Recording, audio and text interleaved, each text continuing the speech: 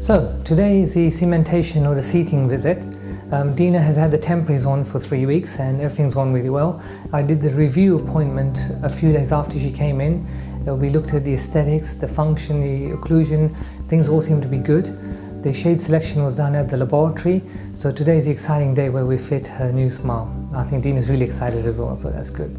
So let's get on. So what I'm doing now is just beginning to remove the child smile with the Luxatemp that we. So these are all joined up and I'm just drilling through the plastic template, going carefully through to just before we get to the tooth. And I'm going to section them all and then twist with an instrument uh, made by Brasseler called the EB134 instrument. Now, so having made these vertical slots in the fronts of the teeth and just over the inside of the ledge, I'm going to use this instrument just to carefully put it between the teeth, support the temporaries and just twist and it just makes little clashing noises and just actually splits them into sections.